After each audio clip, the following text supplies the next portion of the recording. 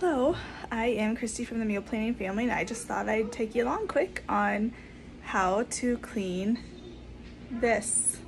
So something boiled over and it made a big mess and I procrastinate and don't like to clean my stove, but I thought I'd show you what I use. So Bar Keepers Friend cooktop cleaner is the best thing I have found to work. And then if you buy one of the kits or, or something one time, um, it's like this, and then this is a scraper. You use like a razor blade or something too.